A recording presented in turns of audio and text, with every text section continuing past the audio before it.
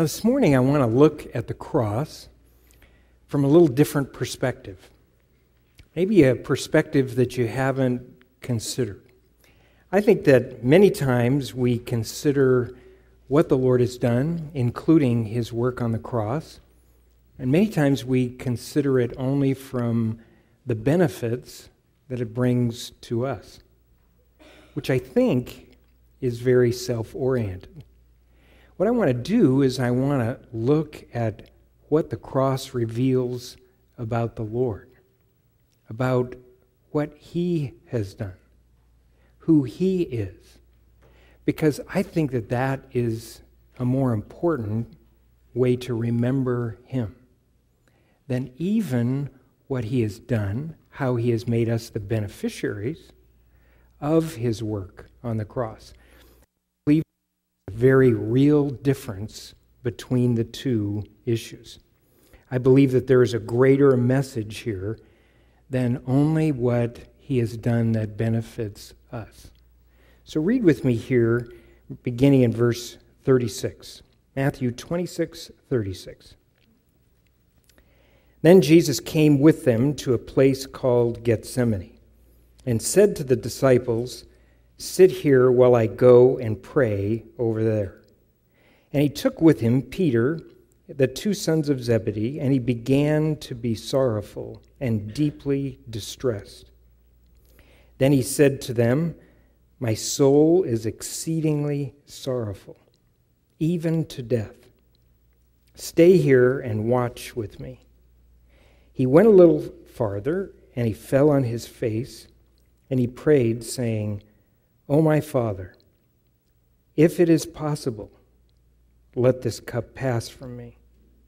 Nevertheless, not as I will, but as you will. Now, this is a passage of Scripture, specifically verse 39, and this request of Christ that people ask me about all the time. And I believe that this is such a key issue in reference to why we celebrate communion, what the cross of Christ means, and the ultimate purpose of God. And so I want to focus this morning your attention upon this particular verse. What does Jesus mean when he says, Father, if it is possible, let this cup pass from me?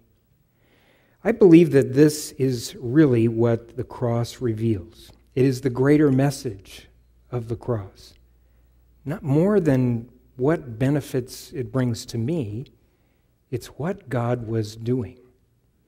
You see, the cross reveals here the willingness of Jesus to drink the cup, the cup of God's wrath, his judgment against sin, against your sin, against my sin. You see, he was willing to drink the cup of God's fury so that you would not have to. Now, how do I know that this particular passage refers to the cup of God's judgment? Well, let me read to you a couple of passages from the Old and New Testament. First, Psalm 75, verses 7 and 8. There, David says, God is the judge. He put down one, he exalts another. For in the hand of the Lord there is a cup, and the wine is red, it is fully mixed. He pours it out. Surely its dregs shall all the wicked of the earth drain and drink down. Notice in this text, he is referring to God as a judge, and then he refers to this cup using this metaphor of a cup of wine. And then he says, The wicked of the earth will drain and drink it down. Very clear. Jeremiah 25 15. For thus says the Lord God of Israel to me Take this wine cup of fury from my hand, and cause all the nations to whom I send you to drink it. Again, a clear indication that the cup is a cup of fury, a cup of judgment. And then, last in Revelation 14, verses 9 through 11, This is during the tribulation period when the Apostle John sees and hears the angel declare a very solemn message.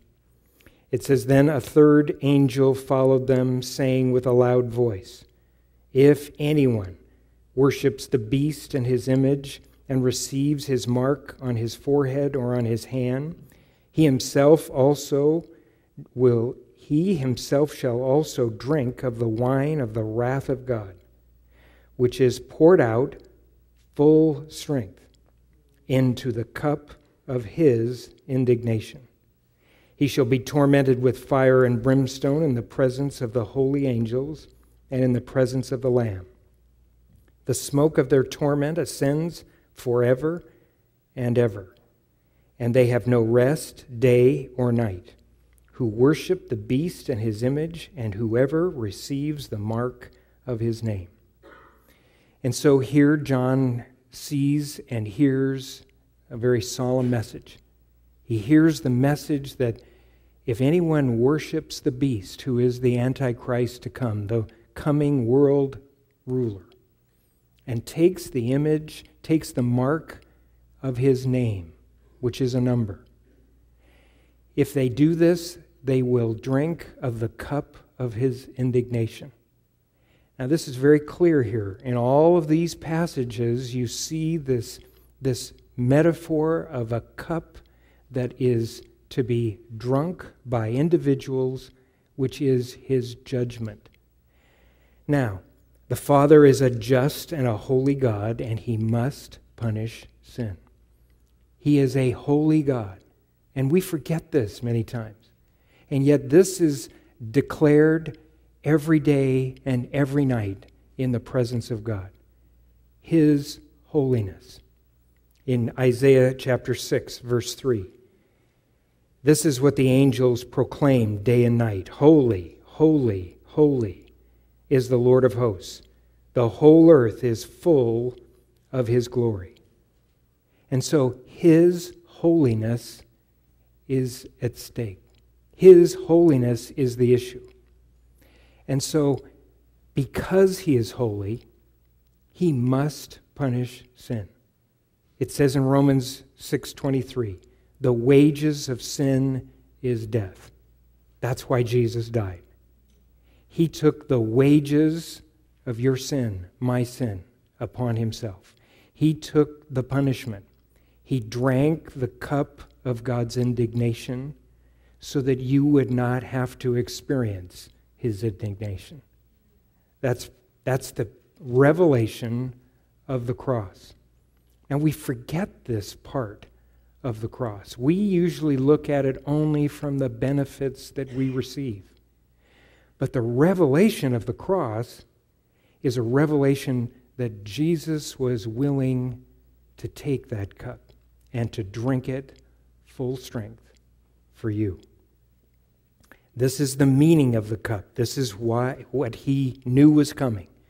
This is why he prays, Father, if it if there's any other way, if there's any other way for men to be saved without me drinking this cup, then so be it.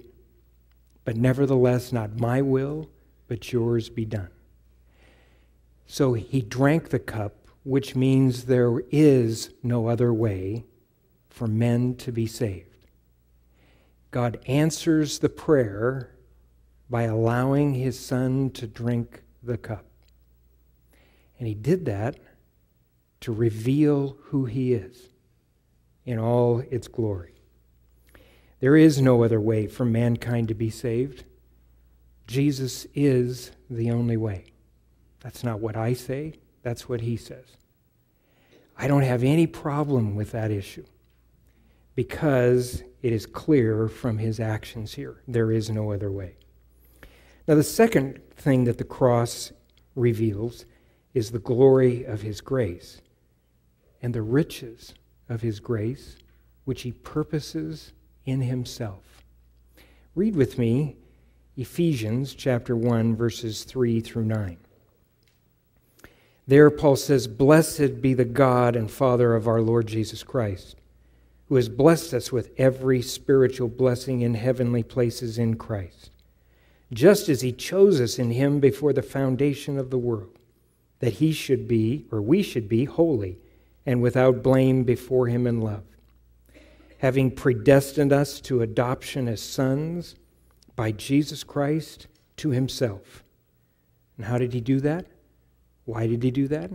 Notice, according to, according to the good pleasure of His will, to the praise of the glory of His grace, by which He made us accepted in the Beloved.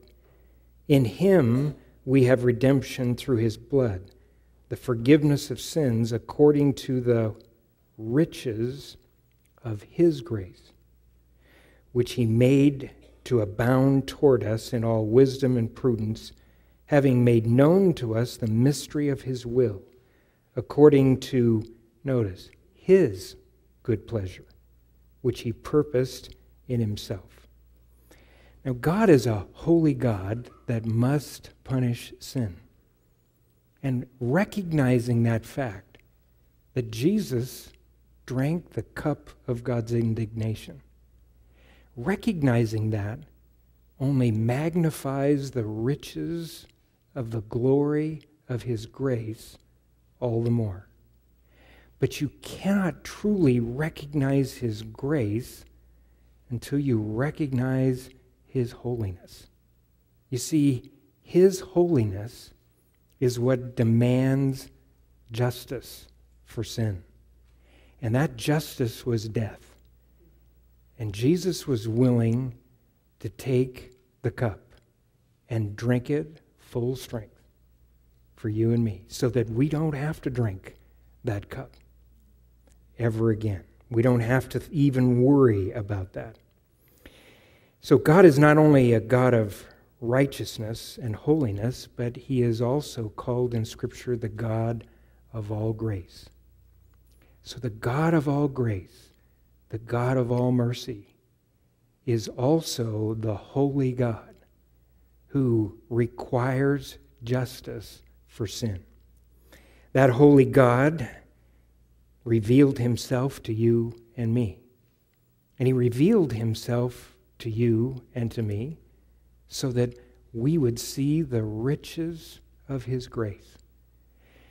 Truly, this morning, I want you to focus on his grace, on the riches of his grace, the riches of his mercy that has been bestowed upon you. Set your mind on who He is, His righteousness, His love, His grace. Yes, we are the beneficiaries of that grace and of that mercy, but it's because of who He is that we have become the beneficiaries. We have experienced the fruit of who He is, what He has done and that is where our attention needs to be. You see, truly to remember Him. Communion is not to remember the benefits to me, communion is to remember Him. Jesus said, Do this in remembrance of me. And so our focus needs to be upon Him, not upon us. Yes, we are the beneficiaries. I don't want to shortchange that. But it is only because of who He is and what He has done. So are we exalting Him or are we exalting ourselves? You see, communion means we are to exalt Him. In Psalm 34 3, David says, There, O magnify the Lord with me and let us exalt whose name? His name together. Let us exalt his name together. Psalm 95, 99 5. Exalt the Lord our God and worship at his footstool. He is holy. He is the holy God who has demonstrated his goodness, his righteousness, his mercy his grace. this is the message that we need to remember. Now, thirdly, the cross reveals more than just how much God loves you. Isn't that what we usually consider at communion? How much God loves me. But the cross is to reveal so much more than just how much God loves me. It's to reveal that God is love. You see, there is the focus. How about that passage of Scripture that we all quote so often? What's the point of and the focus of John 3:16? It's for God so loved. For God so loved the world that he gave his only begotten Son. You see, that's the point. It's God who so loved. This is a choice of love that is beyond my comprehension. Why do I say that? Well, I have put myself into those shoes of the Father, and I can't imagine giving my own son. For you that are parents, think about it. Put yourself in his shoes. Would you give your child for someone who could care less? I don't think so. I don't think I can do that. That only shows me how little I really understand of how God so loved. I understand just a fraction of what that means. And yet, that is what we need to f- focus our attention on here this morning. Put your attention upon what He has done, not what you have received. Much of the time, I think we just focus on the benefits of the cross and how they relate to us. But note how the apostles, their focus was so different than our focus. Let me read to you two passages. 1 John 4 10. Notice John says here, For in this is love, not that we loved God, but that he loved us and sent his Son to be the propitiation for our sins. So, John here is saying, you know what? Don't get focused on anything that you do or you receive. Put your focus on him. It is his love. Notice, his great love. He loved us. He loved, not I love. In Ephesians 2 4, there Paul said, But God, who is rich in mercy, because of his great love with which he loved us. It's God. It's his great love.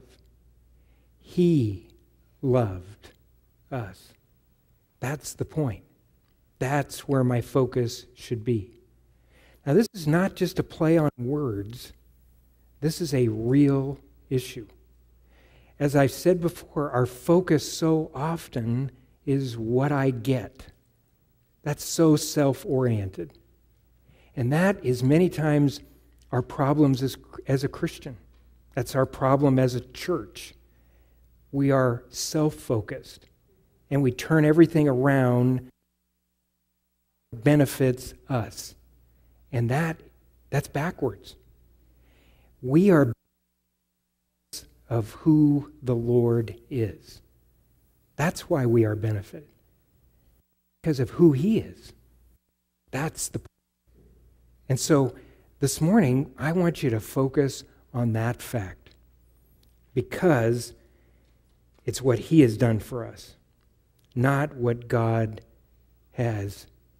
It's what He has done, not what He has done for us. I think much of the time we only consider what the Lord is, can do for us today.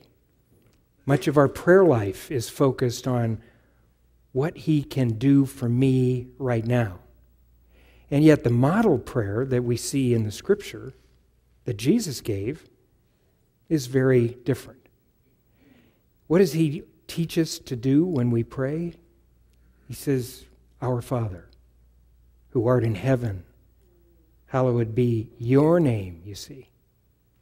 Your kingdom come. Your will be done. You see, it's all about getting your eyes off yourself and getting your eyes on your Heavenly Father who loves you, who is gracious and merciful towards you, and He has revealed that by what He has done at the cross. It reveals that He is love, He is gracious, but He is holy. You see, this third issue of love, I think, is the perfect balance. You see, God is love. That's what the scripture says. But that love is revealed in perfect justice and mercy. You have to put those two things together justice and mercy. When you put those two together, you have the correct definition of what real love is. You cannot love without justice. You cannot love without mercy. Those two must go together. And so here we see that brought together. Much of the time, we only consider what God can do for us instead of, Lord, what do you want me to do for you?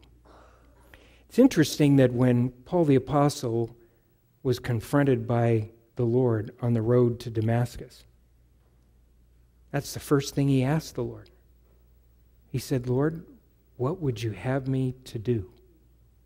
See, when you recognize Him, that's what you naturally want to do. Lord, what, what can I do to serve you? How can I serve others? You know, much of church activity is even all self oriented, self focused. So much of what we do is for our own benefit alone. Instead of denying ourselves, which is the point of the gospel. If you want to follow me, Jesus said, it's deny yourself. Not cater to yourself, abandon yourself. Turn away from self and look for some way that you can serve me or you can serve others. So when the church gets focused only on itself and benefit to itself, and what can this church do for me? Well, I'm telling you, there's, that's a prescription for trouble. What can I give to this church? What can I give to these believers? How can I serve others? You see, that's a totally different focus and causes tremendous change to take place but it always means death to self. In Galatians 2:20, Paul said, "I have been crucified with Christ.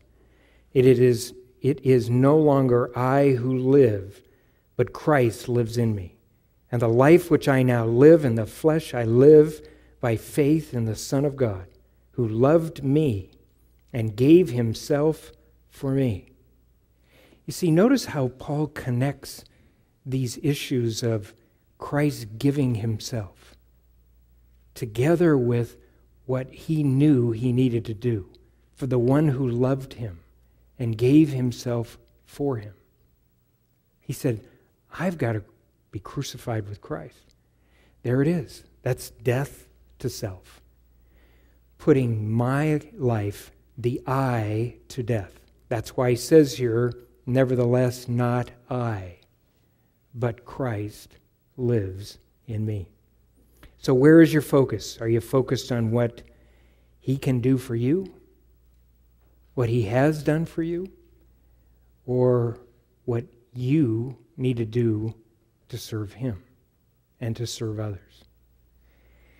Now, how can you take some application away from this study this morning? What would this revelation and what should it do? Well, it should bring you to a place of exalting Him. And so, as you partake in communion this morning, will you privately acknowledge Him, exalt Him, bow to Him, acknowledge what He has done because He is holy, He is gracious, He is loving. There isn't any reason for him to do that in me. It's not because I'm such a great catch. I'm, you know, oh, he just knew what I could do for him. No, it has nothing to do with that. It has everything to do with who he is. Secondly, I would ask you to, to ask the Lord to show you where you can serve him, who you can serve, how you can be a servant to someone. That is what he wants. You see, Jesus said, This is the example I leave with you. I have done these things to you as he washed their feet, so that you would go and do them as well. That was his point. Third, I would encourage you to share the message of what God has done with someone this week. Again, so often we, you know, we want everyone to come to us instead of us do what Jesus said, and that is go to them. You see, again, it's turned around, it's backwards. Jesus said, Go into all the world and preach the gospel. So I need to share my faith with someone. I cannot be a secret disciple. If I don't want to suffer for the gospel's sake, that's why I don't share. I don't want anybody making fun of me. I don't want anybody putting me down. I don't want any hassle. And so that's why we are silent. We need to speak up. This world is dying. It is dying. And you have the message of eternal life. Share it with someone this week. And fourth, I want you to remember this morning that there is not only a cup of judgment, but there is also a cup of salvation. So read this passage with me from a different perspective, understanding what the cup means.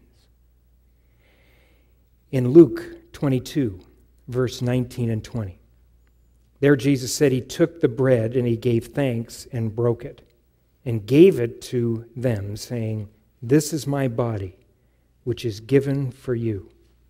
Do this in remembrance of me.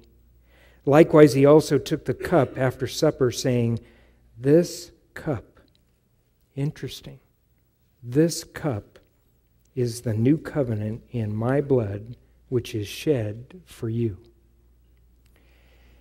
It's interesting here that Jesus uses the same image of a cup. You see, this particular statement is made, and he is acknowledging here clearly that the only way that there can be a new covenant is in his blood, which means that he has to drink the cup of God's fury, of God's indignation. He must drink the cup of judgment if we are to ever drink the cup of salvation. You see, that is used throughout the scripture as well. In Psalm 116, verse 13, there, David said, I will take up the cup of salvation and call upon the name of the Lord. So there is a cup of indignation. And he drank that cup so that you could drink and take up the cup of salvation. So when you take the broken bread and the cup in your hand this morning, Take it with a different perspective. Remember Him. Remember His holiness, His graciousness, the riches of His grace, and His love. Let's go to Him in prayer. Father, we thank you this morning that, Lord, you have demonstrated who you are, your great purpose, your plan. Lord, that you would reveal yourself to us. Lord, that reveals who you are a God who cares, a God who wants to bestow grace and mercy, but a God who has suffered the judgment of your holiness. You've taken that upon yourself. Lord, what a revelation of who you are. May our eyes be fixed afresh this morning upon that incredible blessing of who you are, what you've done. We give you praise this morning. And Lord, I pray that our knees would be bowed to you afresh and anew.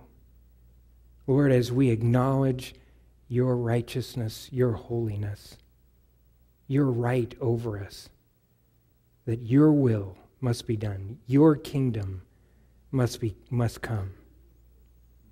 Lord, we want to fix our attention there. Lord, help us to be a part of bringing that kingdom to other people's lives, sharing the kingdom with others. Lord, help us not to be silent. Lord, anything in us that is resisting you, resisting our knees being fully bowed to you, Lord, reveal that this morning, whatever it is. Lord, we want to come to that place of full and complete surrender, denying ourselves and taking up our cross and following you. If you're here this morning and you don't know Christ, you're not a Christian, or you're not sure if you're a Christian or not, I want to give you the opportunity right where you sit this morning to make that decision.